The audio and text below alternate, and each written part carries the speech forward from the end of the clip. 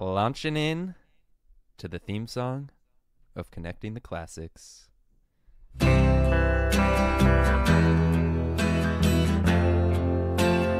What episode number is this? Episode 30. So we are now, Wow. we're no longer the old podcast of the young podcasts. We're the young podcast of the old podcasts. Couldn't have said it better myself. We're over the hill.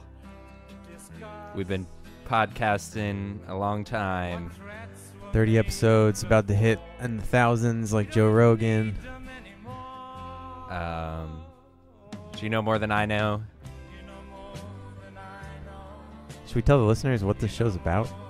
Yeah, this show is a radio hour where Lee Robinson is in Oakland and me, my name's Will, I'm in Los Angeles. Some might say I'm the LA face and Lee is the Oakland booty. And there's no more to be said. We just connect two classic albums using tangential references. Lee knows more than I know. I know more than Lee knows. Um, there's a competitive element to the game where we uh, award each other points, and we encourage you listening along at home to award points uh, because the points don't matter, but there is a winner of each episode, and it's based on arbitrary information. Kind of like me rambling too long for this intro gets me like minus five points, Actually, I thought you, you did a great job. but That's spot yeah. on. Yeah, there's nothing more you need, you know. Um, so this week we did we chose album covers as our theme, so sort of a loose theme there. But uh, I went with Miles Davis, "Bitches Brew." And I went with Young Thugs, Jeffrey, or No, My Name is Jeffrey. Interesting. So Uh, uh, So yeah, you want to talk about your album? I was interested to see why you picked the cover. yeah, let's. Uh, I guess yeah. I started with uh, this pick first. Send it to your your way. Um, I think for me, I don't know. I just thought of like, you know how certain albums, you you know, people talk about like back in the day when they would buy records based off of the album cover. This is one of those albums for me where if like I was in a shop and I didn't know anything, like you're obviously probably gonna know con- some conception of who Miles Davis is, but I feel like it's just the colors are really pretty. There's like the sort of surrealist, psychedelic element to it. I don't Yeah, know. I there's a lot- pick it up. There's a lot going on. Should um describe it for the listener. It's like a face some sweating tribal like native people in like tribal like garb like on a um, beach, like a loincloth yeah looking at lightning.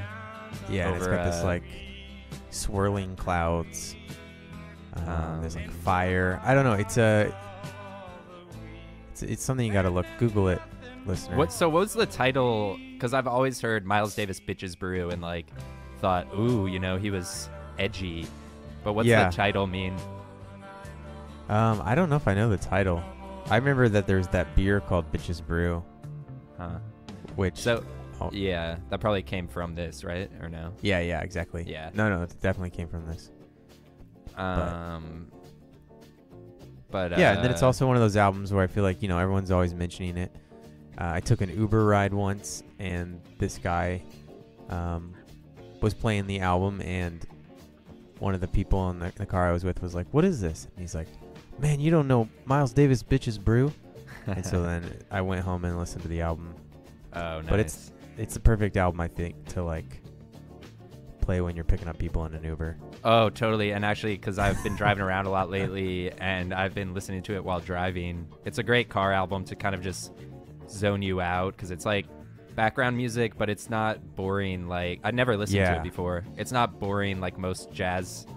Not most jazz is boring, but I mean, I'm just I don't always understand what's going on in jazz, and I don't know. I feel like maybe back in the day when jazz was like the thing, the cool thing, the cool hip thing that the Yeah, hip cats were doing.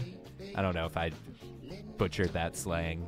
Um, but yeah, I don't know. So I just don't know much about jazz. Long-winded explanation, minus five points. But I really like the album and definitely just got me in the zone driving around. Um, it definitely was like experimental. I think for its time. That's another reason why I think people always bring it up. Is it was kind of Miles Davis blowing up what the the jazz genre had been. You know, up to that point. Yeah. Um, he used like electronic instruments, which was new. He used like guitars and electric pianos, and Yeah. then, um, you know, the whole jazz fusion genre kind of blew up out of this. Uh, so, do you want me to just launch into a song? do yeah, you wanna let's talk launch about into a song. No, let's launch into a song from Bitches Brew, and then we'll talk about Young Thug after. All right. So I figured I've been too uh, easy on our listeners. We did Spice Girls last week, so I thought I would challenge you guys with a 14-minute jazz song. So go ahead and launch into that, and we will talk to you guys at the end of this. Okay, cool. I'm gonna go uh, take a break. See you guys soon. Yep.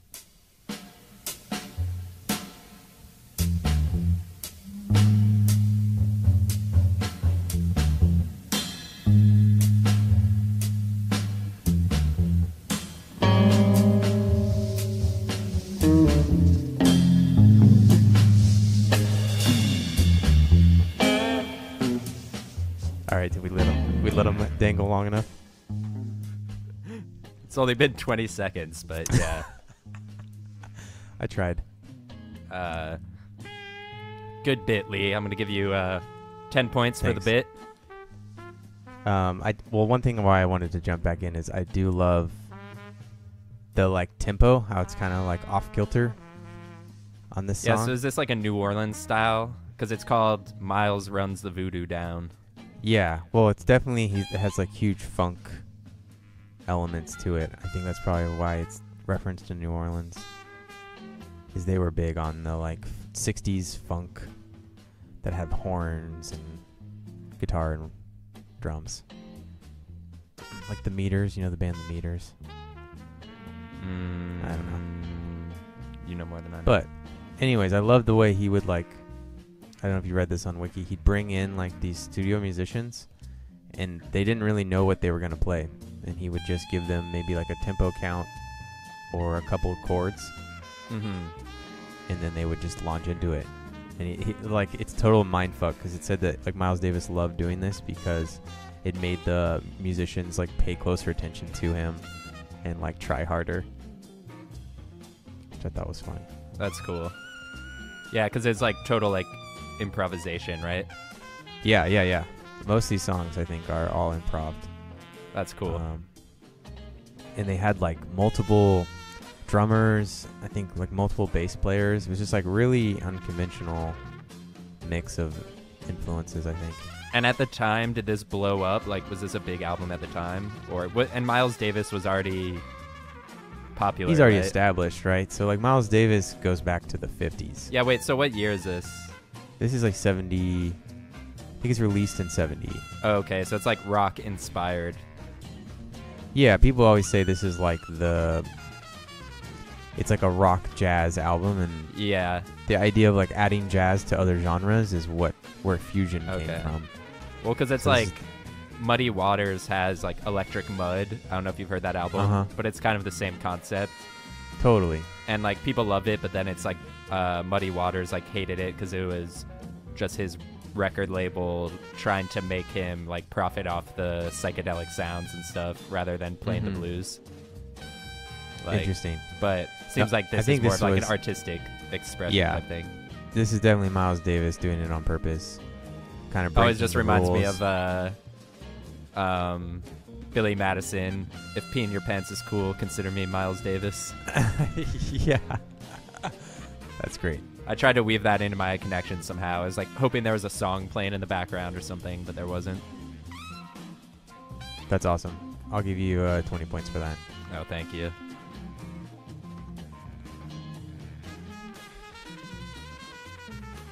So why'd you pick this one? Oh, you just like the tempo.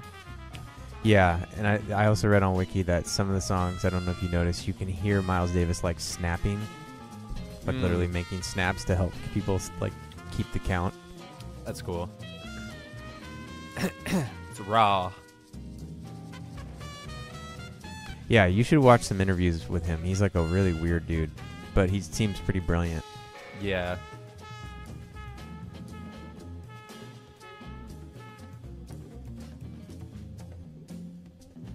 So there's really a moment at like four minutes that I want to get to, and then we can fade out at whenever.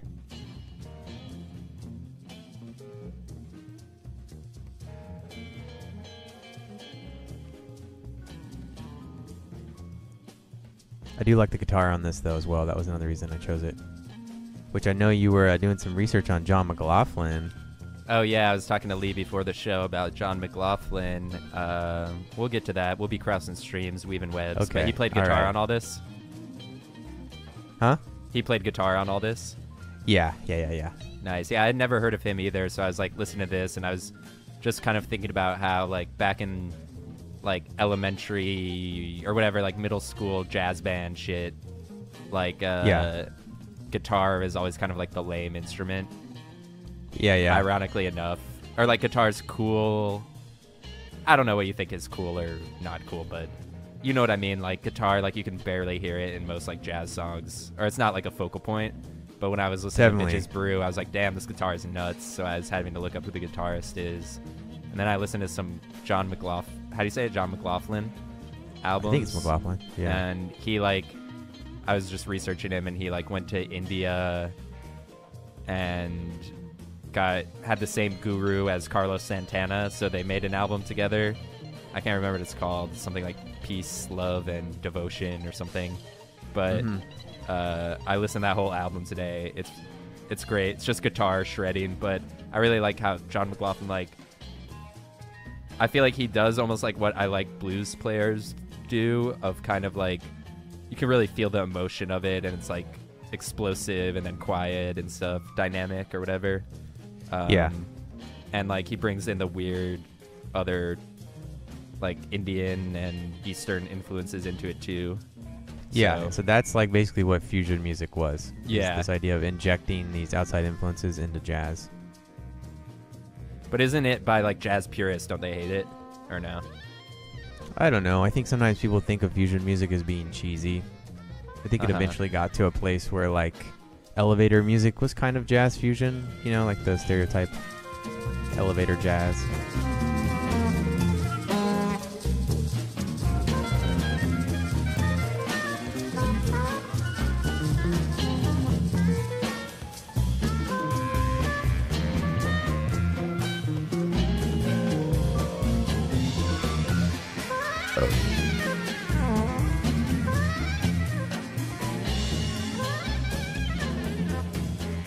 Yeah, we heard the guitar part that I wanted to hear, so we can fade whenever.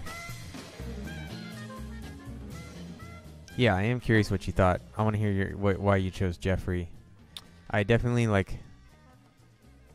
Remember when that album came out, Uh huh. and the album cover was controversial. So I, I'm sure that's where you started at. But I want to know, if, like, Yeah, that's basically in terms it. of his catalog, like, what's your if that's your favorite album, or if you have other ones. So let's just go into it. Um, so yeah, I chose.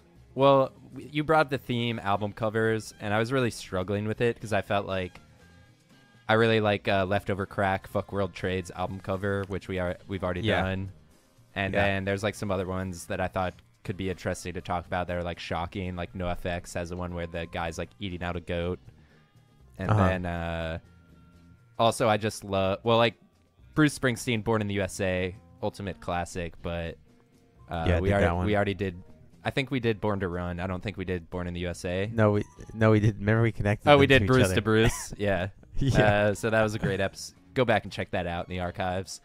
Um, and then I was also thinking of the Rolling Stones, "Sticky Fingers," because I oh, don't that'd if- have been good. I don't know if you know that album cover, but it the vinyl Mhm. version. Uh, it's like a picture. I don't know of whose dick it is. Is it Mick Jagger?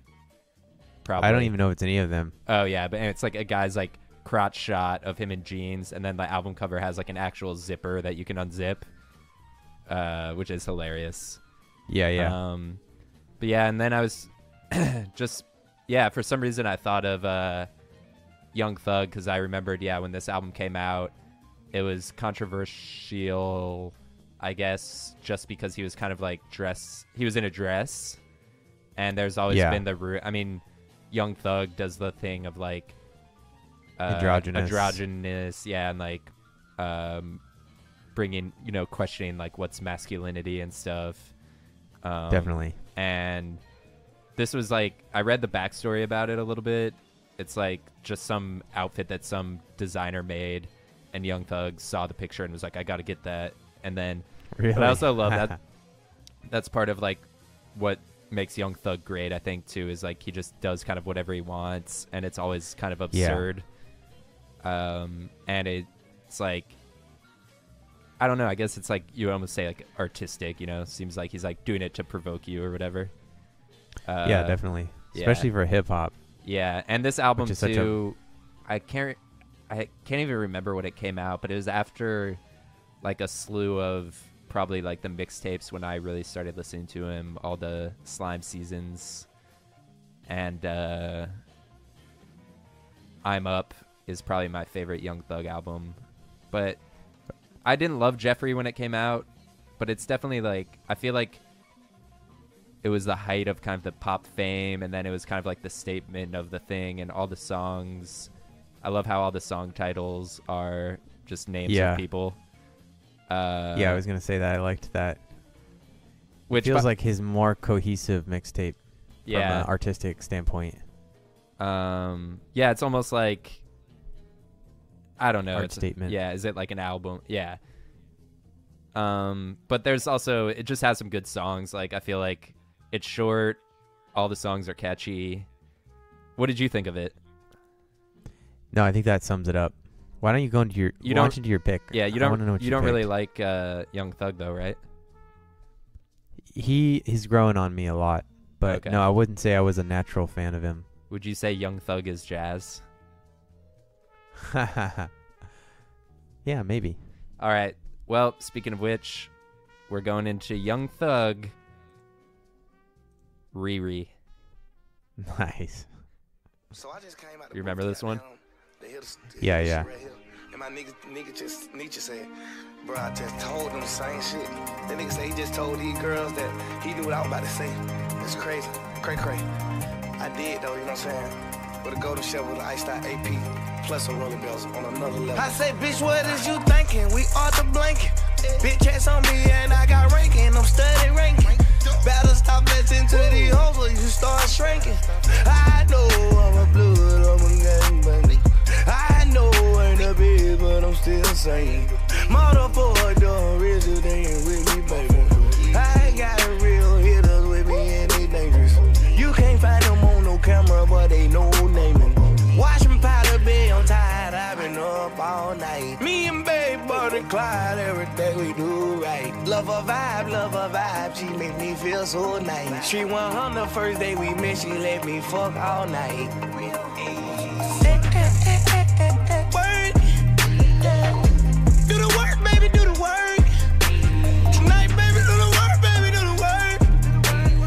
You think of his voice on this chorus?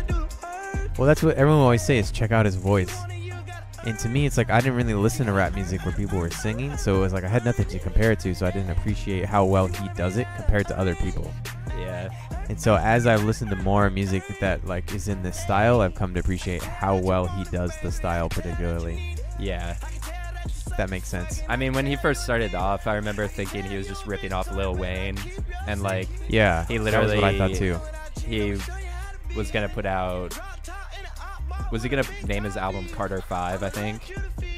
Yeah, Bart no And- Barter 6. Yeah. Well, then he He ended named up. his album that.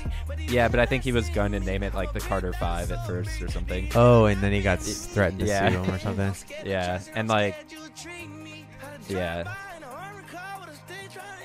But I think that's Yeah, just no, part of him too. Part of his whole like shtick. I think a lot of these modern guys owe a lot to him. Yeah. A lot of people have copied him. And I love like motivational songs like this. Gotta do the work. Yeah. It's like everything I got in life I earned. Gotta get to do the work. Wow, crossing streams. We're gonna get there again. Nice.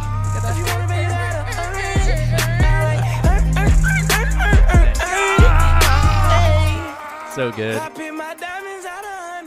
What animal do you think he sounds like there? Seal. yeah, Is that your connection? We're going to Seal. it might be.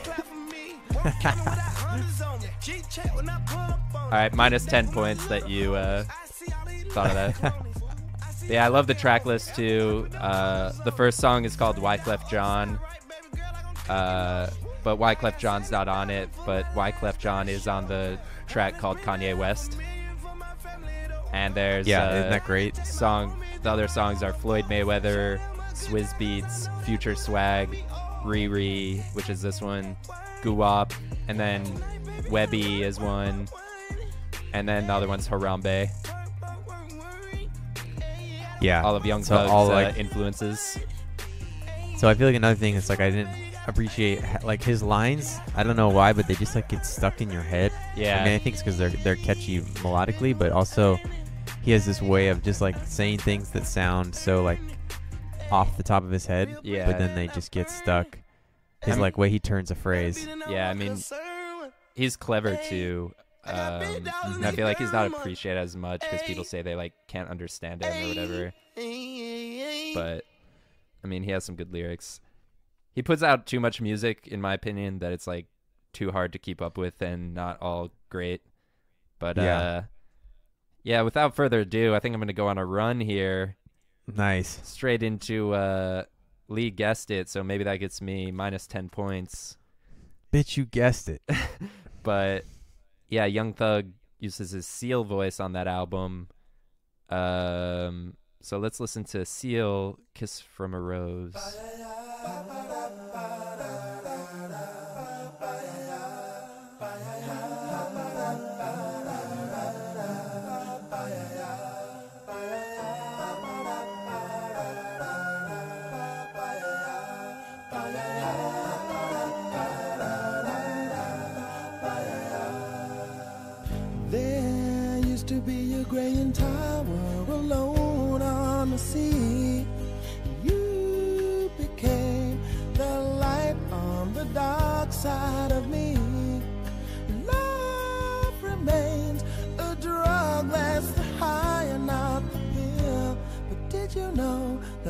Snows, my eyes become large and the light that you shine can't be seen?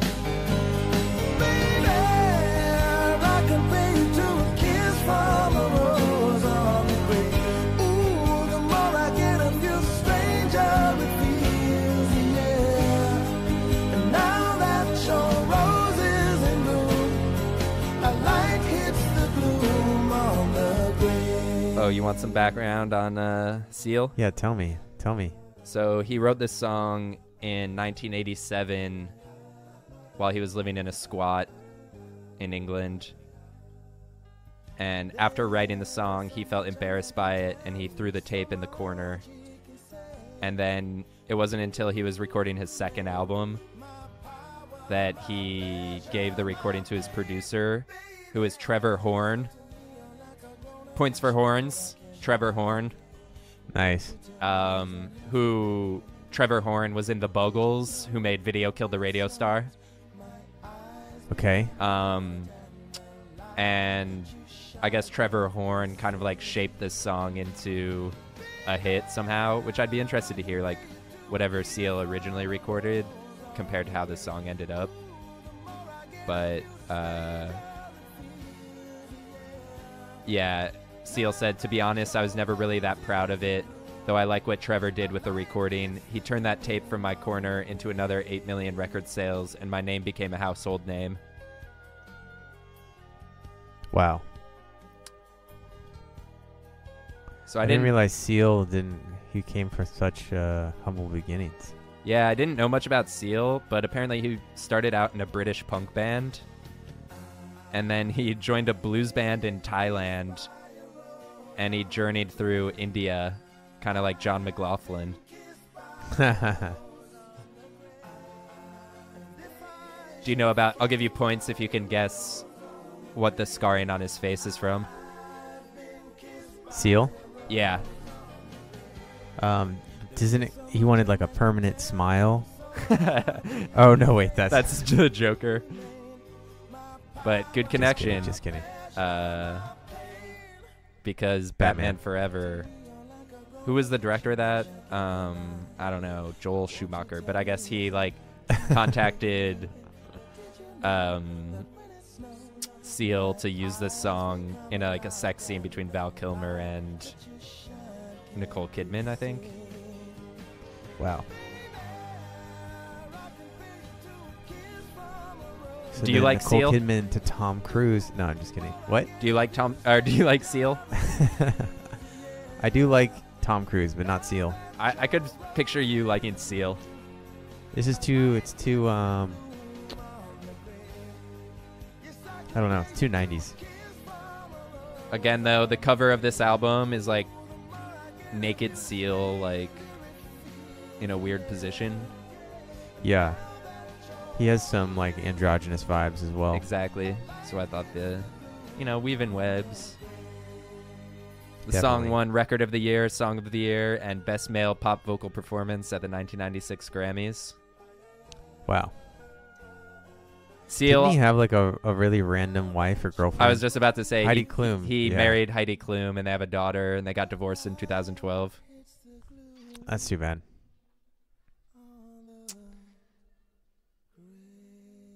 Wow, we might be going to Germany later on in the episode. So Wow. again, Heidi weaving Klum. webs. Weaving webs. Yeah, I was just thinking like this song is such like a bland power ballad type thing. Yeah, It just kind of made me think like people always love ballads. Like even now, like that Lady Gaga, Bradley Cooper song. Like there's like always Definitely. a ballad on the radio. And just for whatever reason, I think it's just the older you get, you just want to hear a good ballad. yeah. Also, reminds me of um, like uh, what was the big one for Armageddon that Aerosmith did? Yeah. I don't want to miss a thing. Yeah. So it's like a movie tied into a movie scene and a big ballad for the radio. Yep. All right. Well, with that, I subject you subjected the listeners to 14 minutes of jazz, and I subjected them to Seal. So, um, if you're listening along at home, you can subtract points from both of us and vote in the Survey Monkey in the links of the show notes for who you think wins, or you can email us. What's our email, Lee? Connecting the classics at gmail.com. And if you, you recommend an album that we use on the show, we will Venmo you one dollar, or a theme. A theme. We want Or a theme, themes more yeah. than albums, because we got we got our own albums. Yeah, we got them all up here. All right. So you passing it? Passing it back. So we were talking about Miles Davis, and I don't know if we mentioned that the person that did the artwork is a artist, and a lot of times people would either use his paintings or commission him to make their own artwork or make uh, artwork for their albums. Mm. And so my next connection is going to be um, another person that used. Actually, I think he commissioned the painter. His name is Mati Klarwein. He's German, and uh, he did it for both his live album and his al- studio album, A Message to the People. We've talked about him before. His name's Buddy Miles, and this song has been uh, in rotation for me for the week but I decided to give you guys the live version. We don't have to listen to the whole thing, but um, go ahead and launch into it, and I'll explain to you what why it's so amazing. This album uh, artwork. I'll give you points for Miles, Buddy Miles. Yeah, and we got Buddy Miles, Miles Davis, Buddy Miles.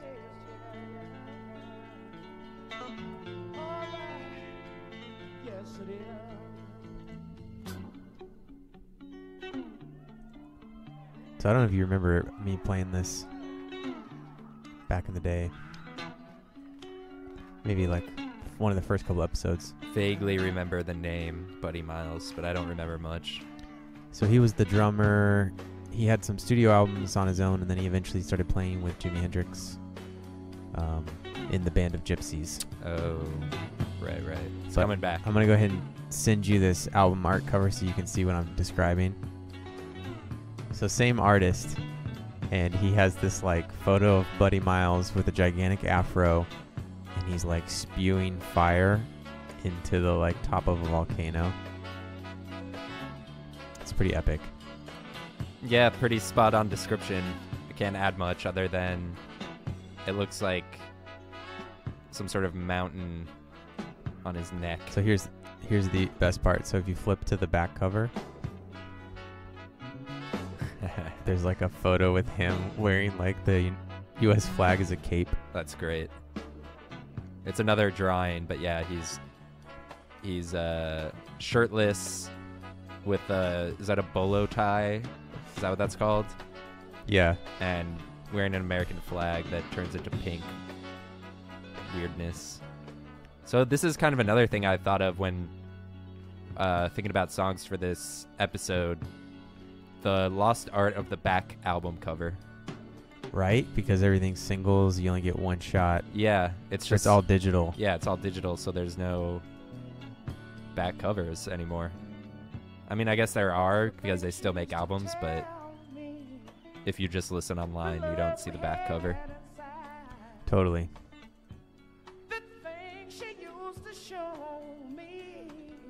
Also, like some albums have such great like inserts and insides and stuff. Yes, my baby's gone away now, now, now. And she ain't ever coming back to stay. Yes, I know. Yeah, I know. Yes, I know. My baby told me. Yes, I know.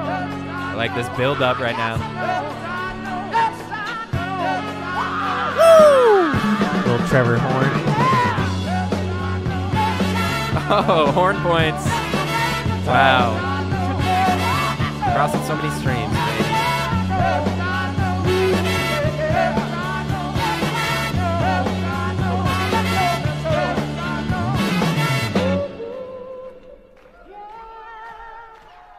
So also the artwork for the live album is his like face painted onto the side of a mountain, which is even which also is funny. Yeah, Just gotta Google this, people. I know. That's the thing is, I'm a It's a podcast. I'm sorry. it's a it's a podcast and we're doing a visual episode, so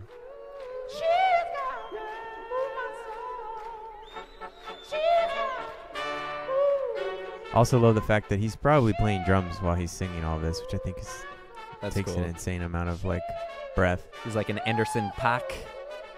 Yeah, exactly.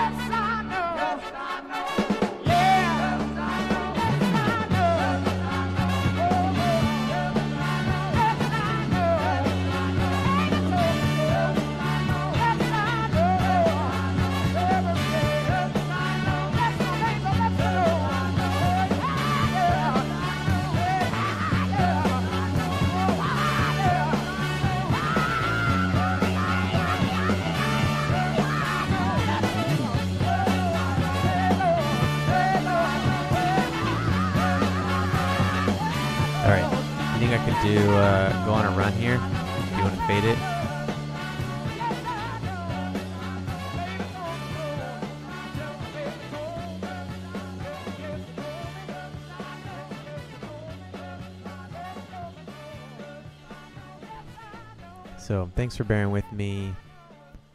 Um, really love that song. I'd like to do the same thing twice. Just like Bob Marley. Oh. So what is this? It's it's so nice. I'd like to do the same thing twice. I totally butchered that connection. Uh, this is Bob Marley and the Wailers. Do it twice.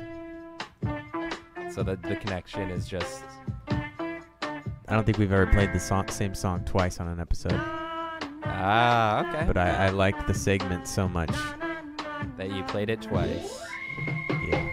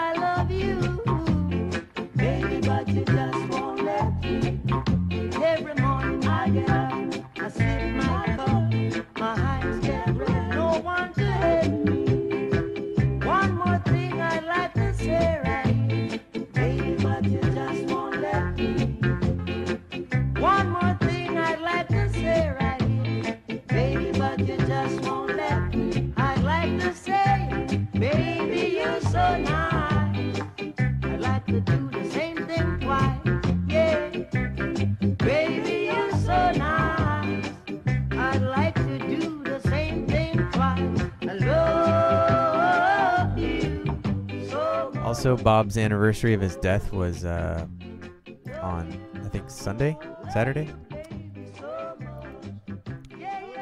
Rest in peace. R.I.P. So, do you know who the original members of the Whalers were? Was it Seal and Young Thug? Because they wail.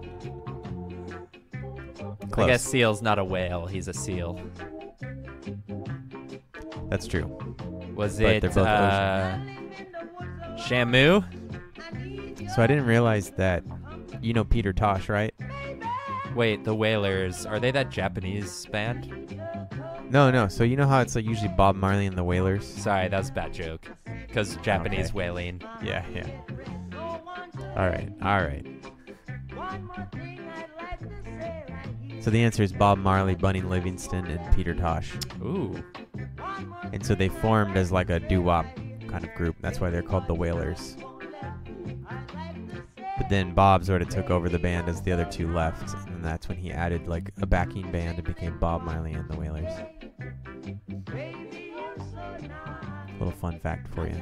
Peter Tosh um, was secretly a part of a conspiracy, a CBD company conspiracy to legalize it and then profit off people. No, I don't know. Delete that. All right, you passing it back? Yeah, I'll pass it. All right. Well, we left off with Seal, uh, Kiss from a Rose.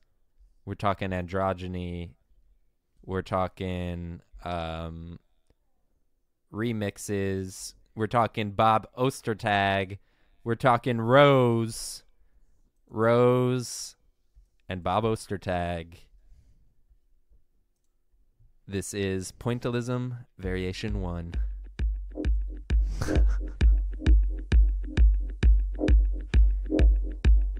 You know about Rrose? No, I don't.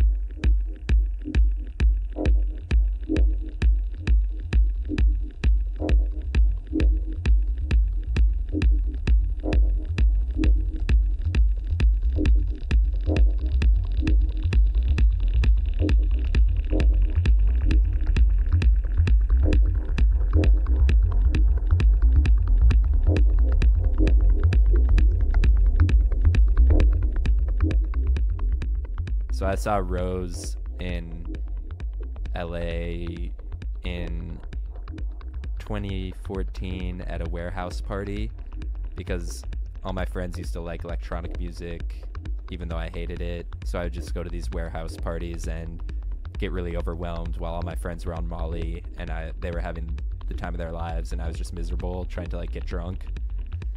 That sounds rough. Um, but I have to admit, I went. I'm gonna give a shout out to Tom Chen, who introduced me to Rrose, friend of mine.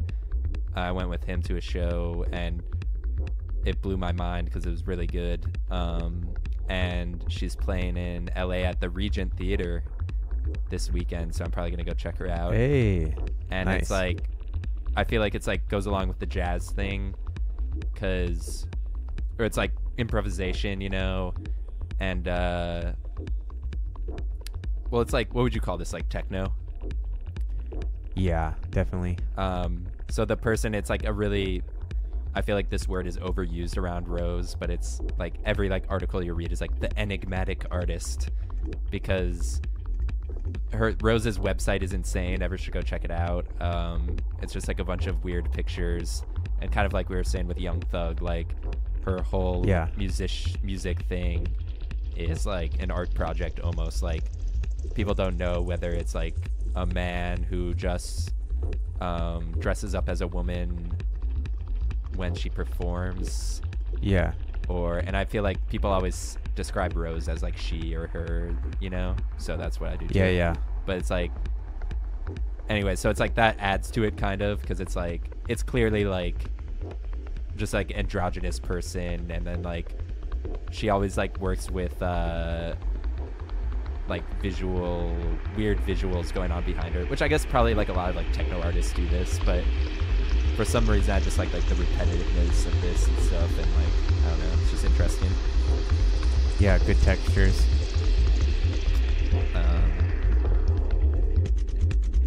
so this album is Rrose remixing songs by Bob Ostertag from his album. Bob Ostertag plays the Buchla 200E. Oh, talking about build-ups right here. Crossing streams.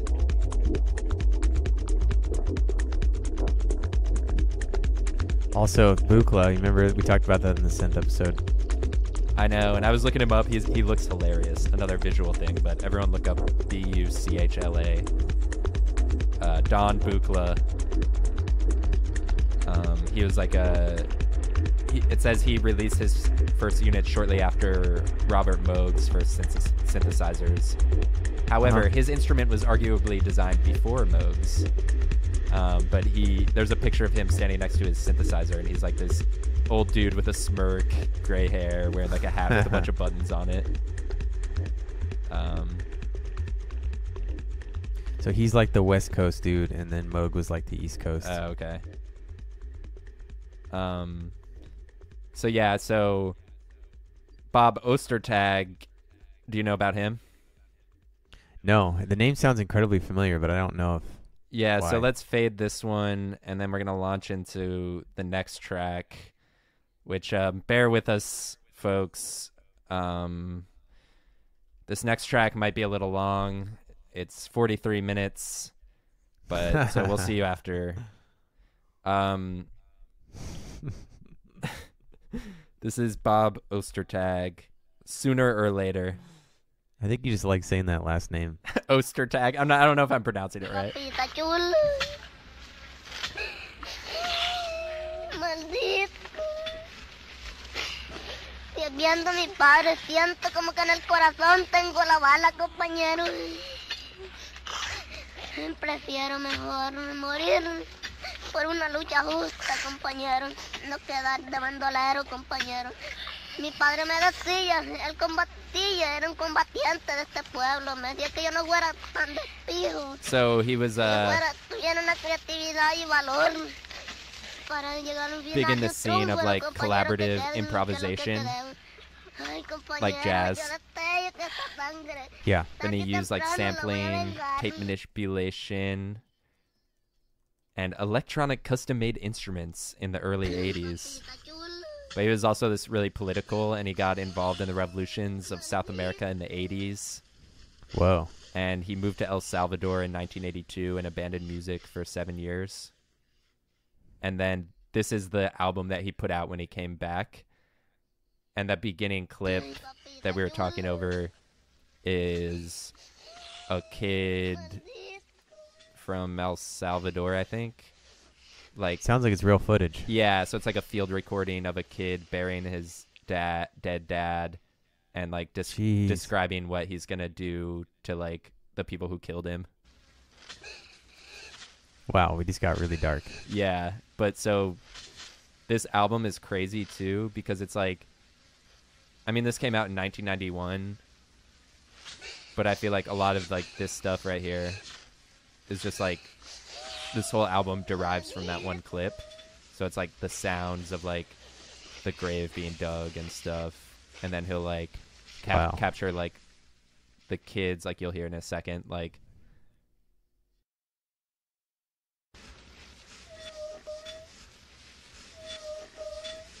I feel like even that is like maybe like the kid's voice or something. Well, maybe not that part, but Yeah. um, I almost feel like it's like yeah, like that. It's like just crazy and like I, I was kind of relating it back to Young Thug, who I feel like Young Thug can get across these like crazy emotions with his voice, Yeah. and I feel like this is ahead of its time, especially because he was doing this all like cutting up tapes and like he didn't use a computer until the 2000 like late 2000s. Oh wow, it's all tape loops. Yeah, and uh um now he's like he's put all his music online for free so like anyone can download it and remix it and he's like big into that. He's like all everything he does is kind of like political too. Mm-hmm. He's also currently a professor of technocultural studies at UC Davis. Ah, okay. So I'll just listen to a little bit more of this, but everyone go check this out. I feel like this one right here is cool. But yeah, I also feel like it's almost like early like quartet type stuff, or like it's like perfect for those guys to sample, you know. Mm-hmm. But just what he's doing with like the little like weird samples of like specific things, almost becoming like a new instrument. Yeah, definitely. I like this part right here.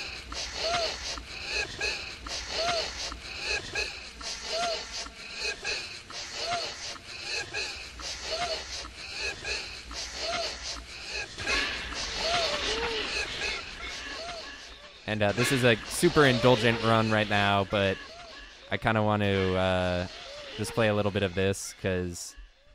So this is like earlier years Bob Ostertag, and now this is what Bob Ostertag did in the when he started using the computer, and this is clips from uh, this is his album called Woot, and it's uh, 50 minutes long. So for the next 50 minutes, uh, we'll be back.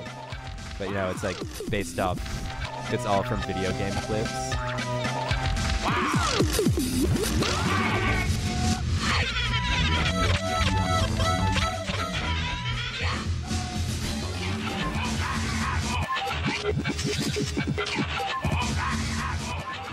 So it has um, music from Halo, Star Fox, Legend of Zelda, Super Smash Bros., Melee, World of Warcraft, Wow. and a bunch of other games.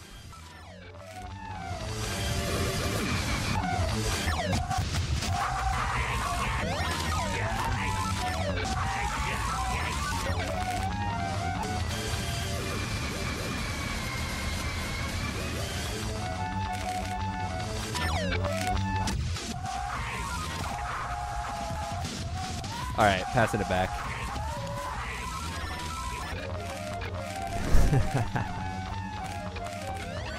All right. Well, I like that you brought us to a really dark place because I think I'm gonna do the same. Um, I do think music and you know suffering in life sometimes go hand in hand. So we were talking about uh, Bob Marley and the Wailers, and uh, I think actually Bunny Wailer and Peter Tosh stayed with the group for a little bit, but Bob Marley kind of took the lead. But uh, I don't know if you've read much about Peter Tosh, but his story is actually really sad. He uh, once he like became a really established musician, he did a lot for his community in, in um, Kingston, Jamaica, and in 1987, he um, had people break into his home, and they were looking to rob him, but he didn't really have anything of value. And in like an attempt to intimidate him, they shot like some some rounds At Bob? into. No, not at. No, this is Peter Tosh. Oh, Peter Tosh, my they bad. just shot rounds into that like towards the ceiling, and something ricocheted and hit Peter Tosh. Oh shit. Ended up killing him. Oh shit, that's how he died. Um, yeah, so that's how he died, which is really sad. But reminded me a lot of someone else that we wanted to talk about on this um, podcast who had a similar role in his community and was tragically shot down outside of his store. So go ahead and launch into some Nipsey Hussle, Ooh. grinding all my life. Wow. Talking about songs that are motivational. We are, Yep, yep. my folks, weaving webs. And rest in peace to Nipsey Hussle. All my life. Been grinding all my life. Sacrifice, hustle paid the price. Want a slice, got to roll the dice. That's why all my life I've been grinding all my life. Look, all my life, been grinding all my life. Sacrifice, hustle paid the price. Want a slice, got to roll the dice. That's why all my life I've been grinding all my life. Good music for working out too, or if you're like looking for pizza, Say I died, I told that bitch she just want a slice. One thing that's for sure, not a stranger to this life. Or if you're grinding weed, or I was going to say Parmesan cheese, but I guess you don't grind that, you grate it. We're gonna get there. To Parmesan You're, cheese. you're all over it. You're all over it. Damn right, I like the life I built. I'm from West Side 60, shit, I might got killed. Standing but yeah, I do I do like this kind of like motivational stuff. Yeah, that's why I love Young Dolph. Yeah, Young Dolph's great about that. Yeah, all his songs are just motivational anthems. Hazel! Hey, stop! So you know how you just use like a Biggie reference, the damn right I like the life I live. Oh, is that from Biggie? Yeah, yeah, damn right I like the life I live because I went from negative to positive on Juicy. Okay. But I feel like uh, Young Thug has that You're similar. the, you're the rap attribute genius, you know? Where he has the ability to like it's like nothing in particularly like crazy about that sentence but it just the way he turns the phrase it's catchy just Yeah. want to say it but young thugs are usually more absurd Like you were uh, quoting one to me. Which one did you bring? Which one did you say again? Because I love that Something line. about too. I know the I know the second half. just for one night let me put it on your face Oh yeah, I like the second part, and I think about it a lot, which is like basically says I won't quote it verbatim, but he says like "Let me nut." Only way I go to sleep. yeah so it's like Right after that. evolution i guess of rap But again, too, like he talks about. I mean, people have criticized him too. I think of like not being real, like blood or whatever, which is stupid. I don't. I don't want to get into that, but also just like pe- people like accuse Young Thug of being gay and stuff, but then he is always talking about like having sex with women and stuff. yeah i've always wondered that Yeah, but I think he had at least at one point he had a long time girlfriend. i think he also has like multiple children with different women Yeah.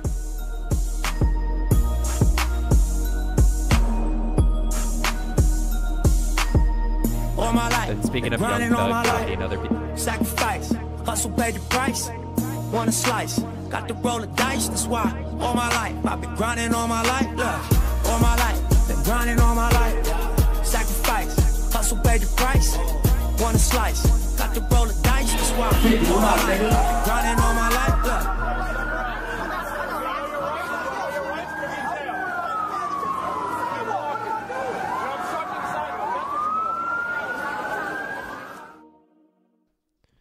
I just want a slice DatPiff.com world premiere.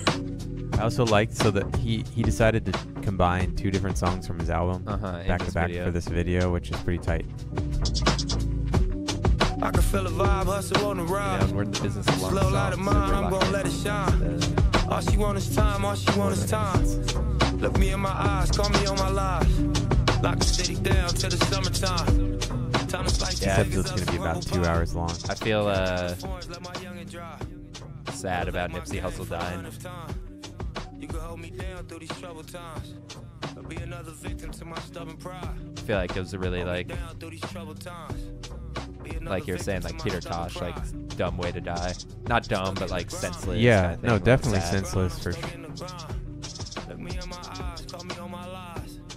I like that. Elevate my game for the hundredth time. Yeah, Middle of the lights is on. Roll me up a back, then I light the stove. Taught her stay calm when the crisis on. I also feel like the combo of the two songs is like they're better both back to back. yeah. He's wearing the same outfit in both, but in the first one it's red, second one's blue. Yeah. Crash got opinions how my life should go. I'm screaming, fuck 'em, they can suck it, they can die tonight, you know. I feel like he's one of those guys too who's like always like, even though he's like a gangster rapper or whatever, he's like um, would like collaborate with like YG and stuff, and they talk about it, you know, and like obviously the whole like everyone talked about this after he died, but how he just stayed in like uh, his neighborhood rather than moving out. Yeah, exactly. He like opened businesses and stuff in his neighborhood Yeah. too. Which yeah, the marathon store. which apparently Jay Z quoted or Jay Z said on stage in Brooklyn, like "We got to gentrify your own hood" or something, which is kind of funny because I feel like what Jay Z did was like what Nipsey Hussle did, but to like a extreme.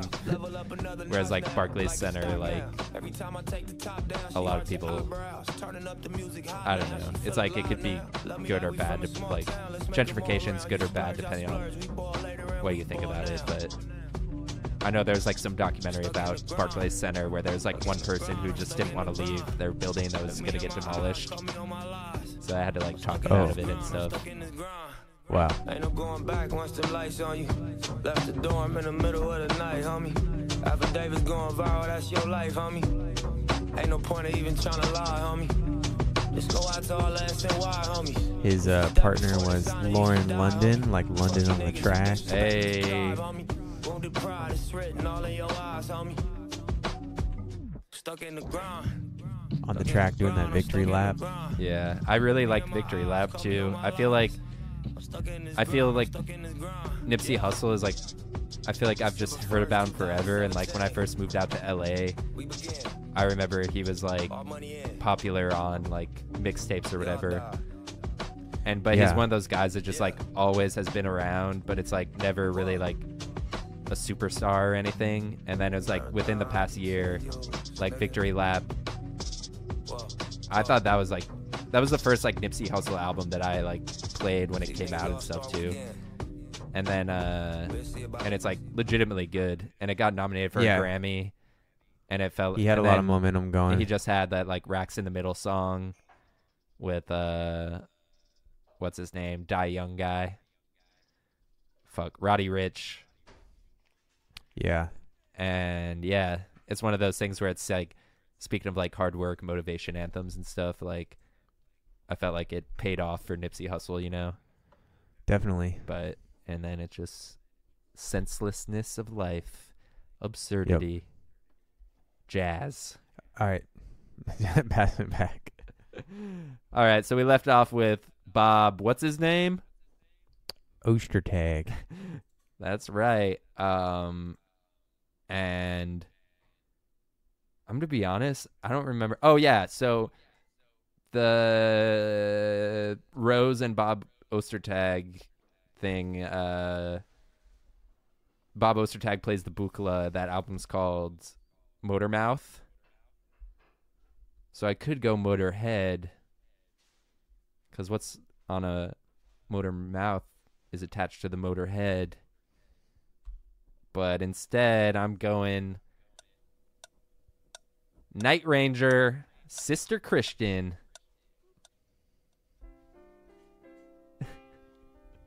What's the connection? We're A mo- motor mouth? We're motoring. Is Night Ranger a car? Just wait, you'll you'll recognize it. Talking about ballads, talking about Seal. Sister Christian, oh, the time has come. And you know that You know the song? the You'll recognize it. one to say, okay, Talking about build-ups. Where you what you looking for. You know those boys don't wanna play no more with you. It's true.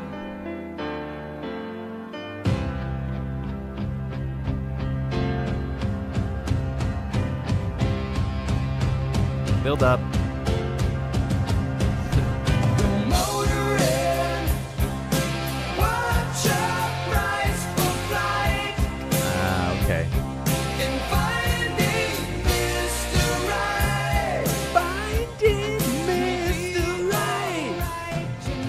Don't like this song?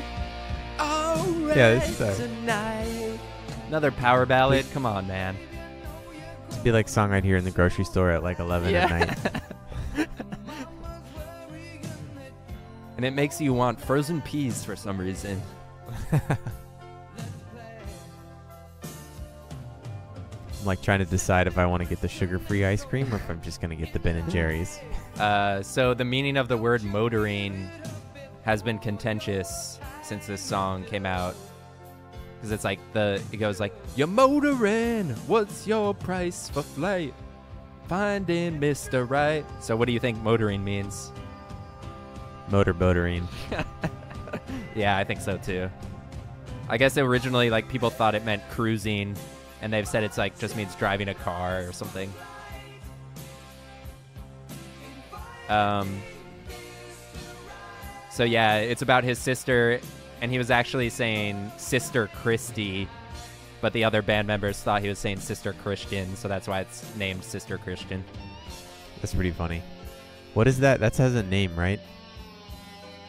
When you mishear a word in a lyric. Oh, a song? like "Excuse me while I kiss the sky." Yeah. Yeah, yeah. I almost made that co- connection one week. Um, so guitar solo right here, shredding, Mondegreen. That's the, the Monda name. Green, yeah. Guitar shredding, kind of like uh, John McLaughlin, kind of like jazz but rock. Uh, and if it's all right with you, I'd just like to read the top YouTube comment on this video. Okay. Um, so it's. Oh, and I'd just like to say, Sister Christian. I mean, Night Ranger is next show. They're playing at the uh, Thunder something Casino um, in Lincoln, California, on July 27th. So check out Rrose, then check out uh, Night Ranger. Richard Breedlove says, "Ah, the good old days. I was 15. I wore a cool black members only jacket with stonewashed jeans and an Izod shirt. I sported a mullet parted in the middle, carried Oh my, my Harley God. Davidson leather wallet on a chain in my back pocket.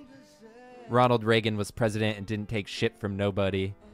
Miami Vice ruled the airwaves. David Lee Roth and Van Halen were the bomb.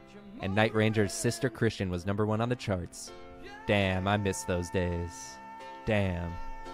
Sobs.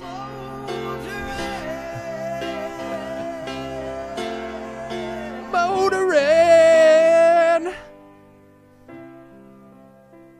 All right, so I'm going to motor on back to you. All right. So we were we left off. Nipsey Hussle has been grinding all his life, stuck in the grind. Um, you were kind of talking about it earlier, but I wanted to know who else you think's been grinding all their life. Bob Burnquist.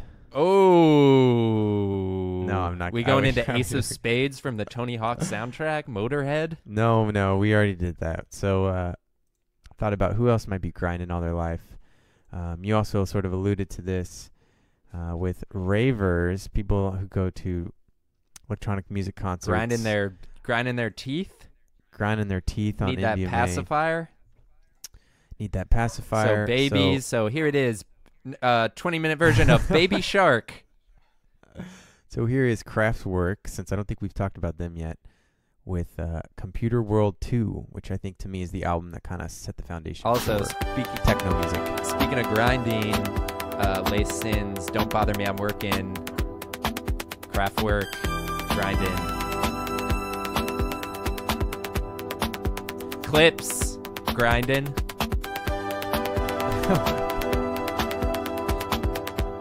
grinding. Pharrell, Happy. You know what song makes me happy? Bruno Mars, Uptown Funk. MDMA. Funk. MDMA. Yeah. Funk, talking funk fusion. All right, so do you know why people grind their teeth on MDMA?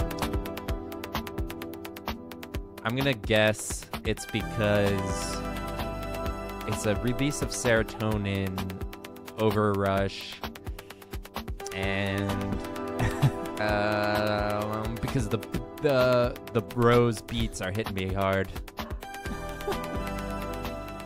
Uh, so I guess according to the internet, as soon as we deplete our dopamine, um, we sort of lose control over our reflexes, which creates this like Hmm, urge to want to bite down. Interesting. It's like a primal thing or something. Like Yeah. It's like a reflex action that we can't suppress once our dopamine's depleted. weird.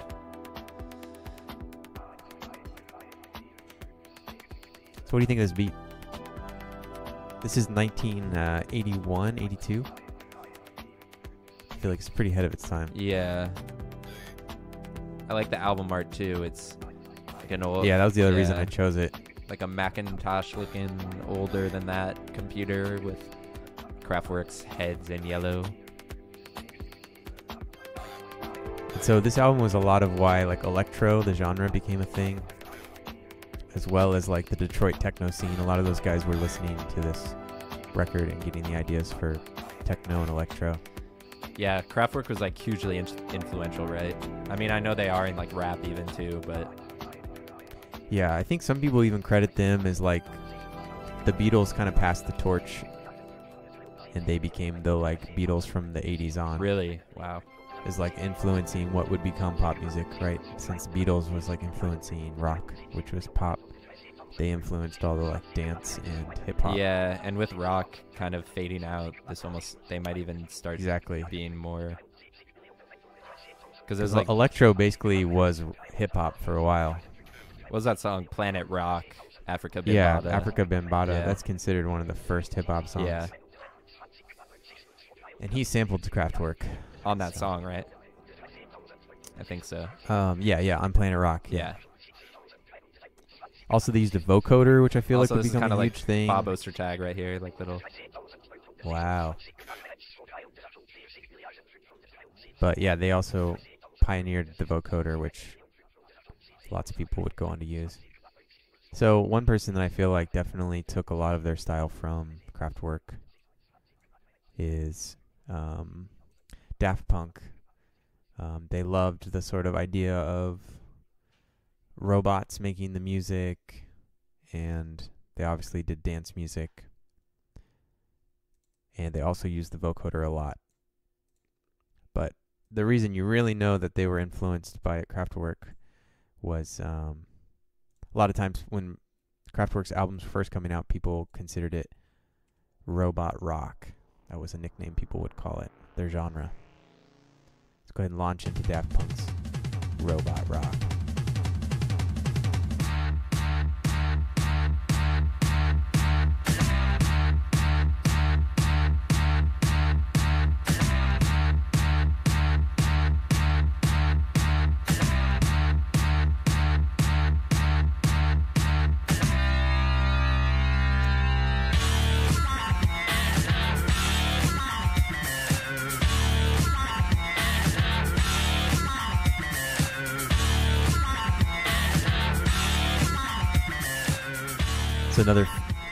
Another fun fact about um, Kraftwerk is they sort of had one of the first drum machines where they took like a tape sampler. So that you, you ever heard of the Mellotron? Uh uh It's basically like a keyboard that would pi play like a tape loop and then pitch it up or down depending on like the scale of the keyboard. Tape loops like Bob Ostertag. Exactly, like like Bob Ostertag. And Points what for They would do is they they ripped that little machine out that would just play the loop um, when you Huh. like started the circuit with the key, and the guy would use knitting needles to to like touch the circuit to make the like circuit fire the tape loop. Whoa. And so they they used their own tape for like a drum sound. So he would like have a kick and a snare, and he would play it with these little knitting needles. That's like the ultimate robot rock. I feel like. Yeah, it's great. And so then you get someone like Daft Punk who's pretending like they're playing real rock music. And it's really all just a this is clearly of- like yeah, yeah, it's like a sample, right? yeah. This is definitely like sampled drums and samples. They might be playing a synth though. I feel like this too, like Daft Punk, is like kind of like we were talking about Young Thug. I mean, I guess every art like artist is kind of like an art. Not really though, because some people are just more straightforward. But I feel like Daft Punk is you know enigmatic, and like a lot of electronic artists are like that, I guess. But Yeah, I don't know, kind of like the like Young Thug, you know, like definitely. I feel like they know what they're doing by like just sampling this, sampling like, and then pretending to be robots and playing it. It's kind of like a commentary type thing, but it's also really catchy. yeah.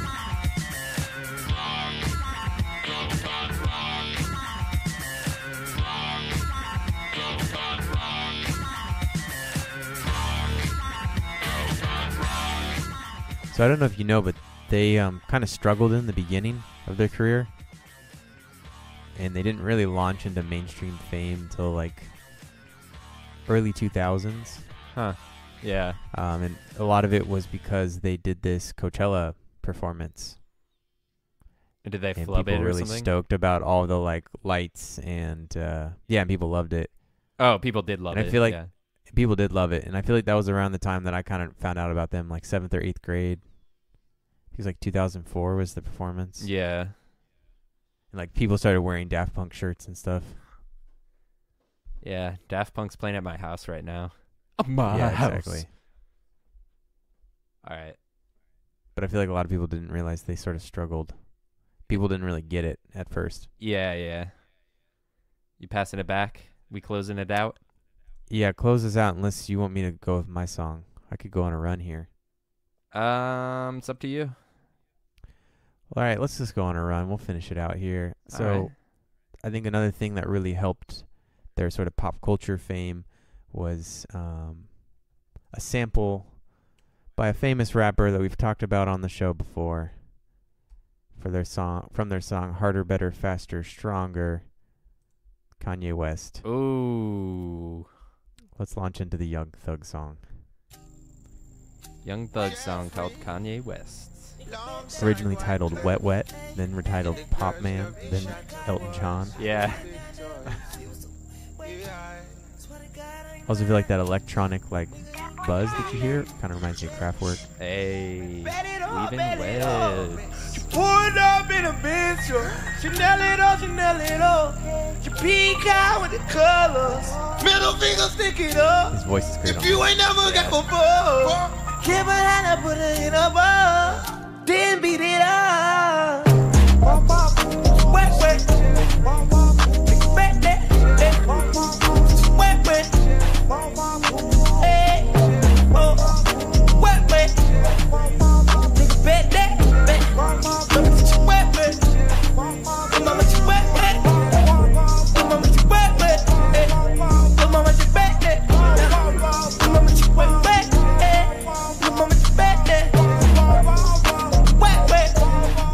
Also really liked Wyclef Jean's verse on this. Yeah. Bet that. Look, mama, wet, wet.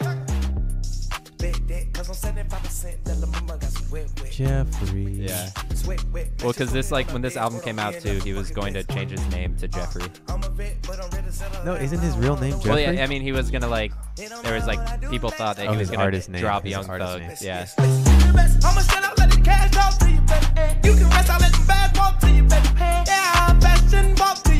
Which I feel like choosing to do this cover to on like the album that's like no my name is jeffrey and that's like him in a dress So, so like, good. yeah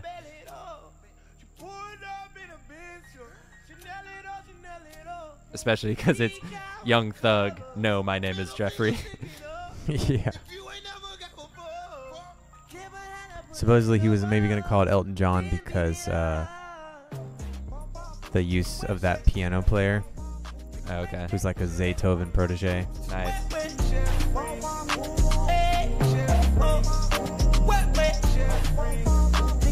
Yeah young thug great ad libs.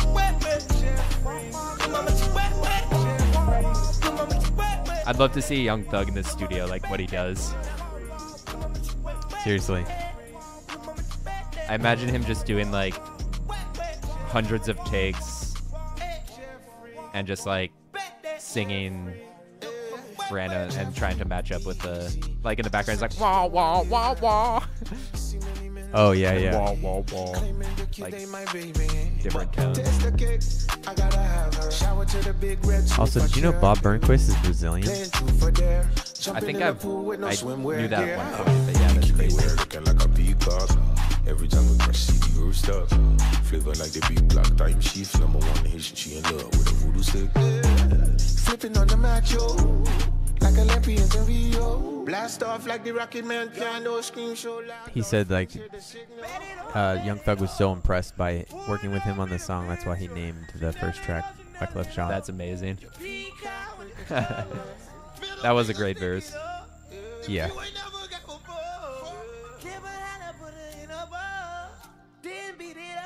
Well, I also feel like him and Chance, Young Thug and Chance, kind of took a lot from Wyclef Jean's like singing style. I could see that. Yeah. Definitely Chance did.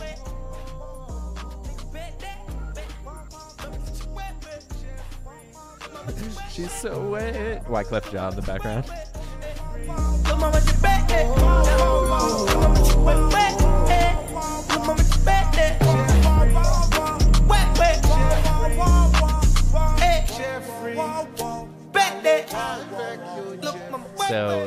Young Thug Jazz? Email us at connectingtheclassics at gmail.com with your answer. Or maybe we'll include that in the Survey Monkey. All right, take us home. He's got a pretty good flow, too. Did you hear me? What'd you say? I said he's got a pretty good flow, too. Like, inventive flow when he does rap. Yeah, definitely.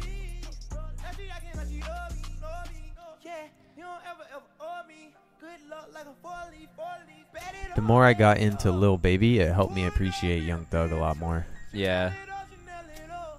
I just heard Lil Baby at it was like a live thing on Sirius Radio of like Lil Baby at Rolling Loud. And Yeah. it gets to the part where it's like wham wham wham bitch I'm Lil Baby and like he cut he stops rapping and like the, the beat cuts out and it's just like the whole crowd screaming it. It's oh my god, so funny. It's a great line though. that's that's perfect. yeah.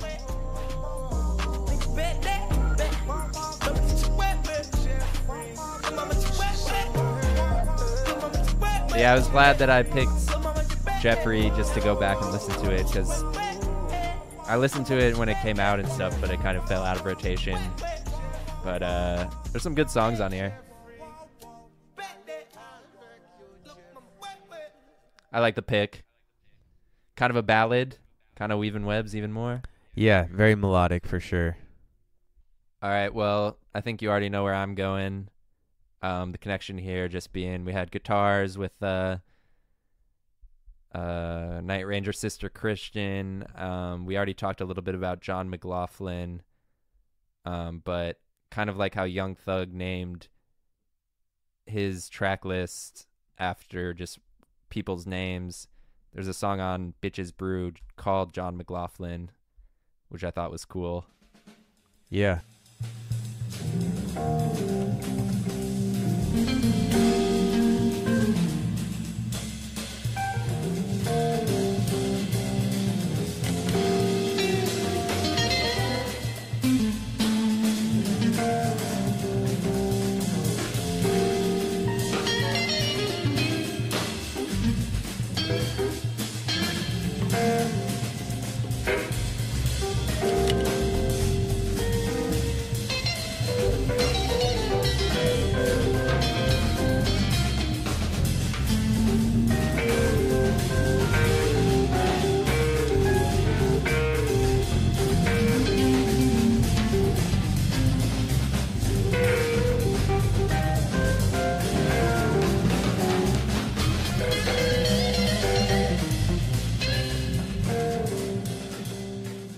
Yeah, just reading about John McLaughlin too. Like he, uh, like Seal traveling through India, he traveled through India, and that influenced his style. Um,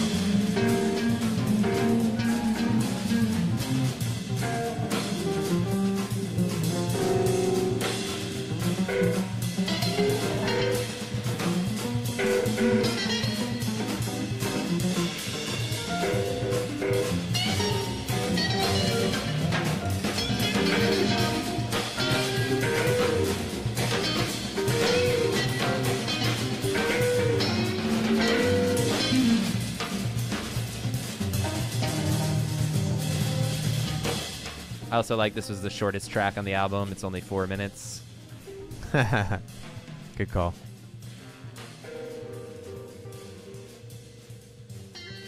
Yeah, I think Mahavishnu Orchestra is a bit a famous uh, fusion group. Yeah, but They're I, like one of the pioneer. I feel like uh, John McLaughlin's guitar really has a lot of uh, soul and it's dynamic. You know, he goes from soft and then explodes into loud, like little ditties, and he's all over the place and kind of unorthodox, um, which is what I n- normally like about a lot of blues guitarists. Kind of reminds me of Muddy Waters, but jazz version. Yeah. Uh, and also kind of reminds me of Young Thug's voice in a way. Which, by the way, I just want to say, I've been saying this for years, but Young Thug is the Freddie Mercury of our time because like his voice is so crazy and the whole like question about his sexuality and like persona and stuff I like that. i think that's a good take. yeah Not not to go too far into that rabbit hole, but I um, recently learned that Bohemian Rhapsody took a lot of like Hollywood liberties and sort of rewrote the story of what actually happened. oh and i'm pretty sure much ruined ruined the movie for me. Ah, that happens with any biopic biop biopic Yeah. They just kind of turned him into an asshole for Hollywood purposes. was he not an asshole No. They created this whole idea that he was trying to leave the band to go be like famous and rich on his own. Oh weird Like none of that none of that was true. But I guess they needed an arc. yeah most people's lives don't have a hollywood arc they just end Nope. senselessly Gun violence. Well, this has been our longest, most depressing episode, so uh, I think it's I think it was a good one though. So take the survey lot of, monkey. lot to unpack. Yeah. Let us know who you think won. Uh, last episode, the results are in, and it's actually a tie. So it's a tie. good job, Lee. Hey, good job, Will. Zero zero tie. So get your votes in and send us your theme suggestions, and we will Venmo you a dollar.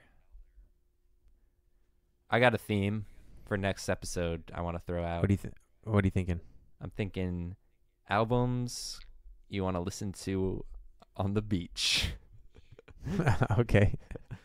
I'll do Neil Young's "On the Beach." Hey, all right, locked it in. I, I got to think about mine. Do you know that album? No. Perfect. All right, you got it. Yeah, yeah. That's definitely what I'll do. Wow. All right, I got it. I didn't even have an album in mind, so I got to think about it. But uh, it's a great album. All right, I don't like this one. I'm excited. All right, well, All right, we'll see you see then. soon. I guess we'll see you on the beach episode. See you on the beach. see you on the beach, guys. Travis and Drew. All right, bye, and all the other listeners. All right, bye. Bye, Hazel.